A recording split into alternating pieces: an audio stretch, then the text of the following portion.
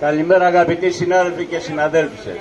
Συναντιόμαστε για μια ακόμη φορά στην ε, Διεθνή Έκθεση της Θεσσαλονίκης. Συναντιόμαστε σε μια αγωνιστική εκδήλωση, σε μια εκδήλωση των συνταξιούχων ενάντια στα μέτρα που έχει πάρει η κυβέρνηση, ενάντια στις πολιτικές όλων των κυβερνήσεων που έχουν κυριολεκτικά τσακίσει τη ζωή μας.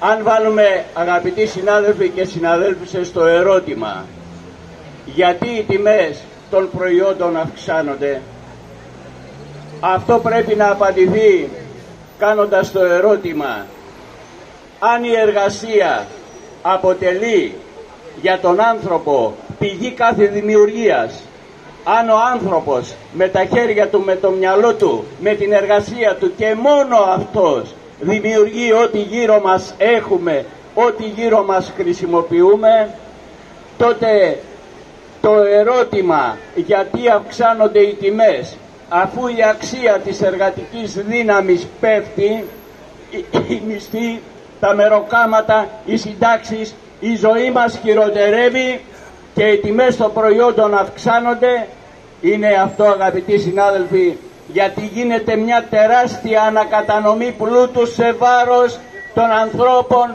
που πραγματικά δημιουργούν τον πλούτο. Αυτό πρέπει να αλλάξει. Και για να αλλάξει αυτό και για να διεκδικήσουμε ότι ο Θανάσης ο Κουτσουράς, για να μην τα επαναλάβω, έβαλε πριν στη σύντομη ομιλία του. Για να διεκδικήσουμε μια καλύτερη ζωή, για να διεκδικήσουμε να ζήσουμε με αξιοπρέπεια και εμείς και τα παιδιά μας πρέπει ο χειμώνας που έρχεται για μας να μην είναι ένας χειμώνας παγωμένος. Να είναι ένας αγώνας θερμός. Θερμός από κινητοποιήσεις από αγωνιστικές κινητοποιήσεις όλων των εργαζομένων των συνταξιούχων του λαού αυτών που πραγματικά δημιουργούν τον πλούτο Μόνο έτσι μπορούμε να αμυνθούμε. Μόνο έτσι μπορούμε να διεκδικήσουμε καλύτερα μεροκάματα. Μόνο έτσι μπορούμε να βάλουμε φραγμό στην άνοδο των τιμών. Μόνο έτσι μπορούμε να έχουμε καλύτερες συντάξεις, υγεία και δικαιώματα που τα πληρώνουμε σε όλη μας τη ζωή και μας τα αρπάζουν.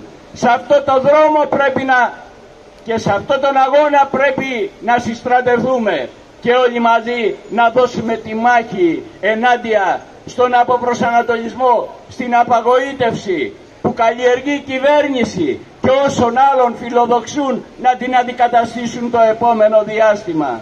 Ο αγώνας πρέπει να έχει διάρκεια, πρέπει να έχει αιτήματα που θα ανταποκρίνονται στις πραγματικές μας ανάγκες. Πρέπει να έχει μεγάλη συσπήρωση του λαού και όλων των εργαζομένων και πρέπει να έχει διάρκεια. Μόνο έτσι μπορούμε να νικήσουμε. Έτσι μπορούμε να τους αντιμετωπίσουμε. Και η σημερινή μας εκδήλωση ας είναι η αφετηρία για την καινούρια χρονιά στο πρόγραμμα κινητοποιήσεων που θα έχουμε το επόμενο διάστημα για να διεκδικήσουμε όλα μας τα αιτήματα. Και ιδιαίτερα επειδή είμαστε για τη μεριά των συνταξιούχων εμείς αρνούμαστε αγαπητοί συνάδελφοι και συναδέλφισες να συμβιβαστούμε με τα ψίχουλα και τα επιδόματα που μας δίνουν. 8,5 δισεκατομμύρια μας κλέβουν κάθε χρόνο από τις περικοπές που έχουμε δεχτεί. Κι ούτε από αυτά τα 8,5 δισεκατομμύρια που για 13 χρόνια μας κλέβουν δεν έχουν δώσει τα αναδρομικά που είναι για 11 μήνες και μόνο για 11 μήνες. Και τώρα προπαγανδίζουν αυξήσεις. Αυξήσεις ποιοι θα πάρουν; Θα πάρουν αυξήσεις για μετά από 13 χρόνια όσοι δεν έχουν προσωπική διαφορά, δηλαδή όσοι δεν έχουν το μηχανισμό του κατρούγκαλου, τον οποίο το διατήρησε η σημερινή κυβέρνηση και ένα εκατομμύριο 200.000 συνταξιούχοι δεν θα πάρουν καμία αύξηση.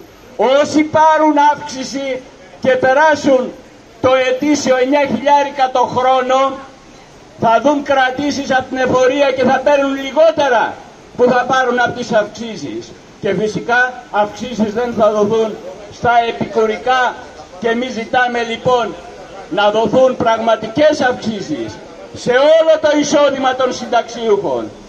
Να γίνει φορολογική ανακατανομή για να μην πληρώνουμε πραγματικά ό,τι παίρνουμε μας τα παίρνει η εφορία. Και φυσικά ζητάμε η κατώτερη σύνταξη από τα 384 και τα 360 ευρώ που είναι σήμερα να πάει στα 650 ευρώ. Δηλαδή αυτό που λέει η κυβέρνηση ότι θα κάνω 751 το κατώτερο μεροκάματο η σύνταξη που πρέπει να αντιπροσωπεύει το 80% πρέπει να είναι 650 ευρώ.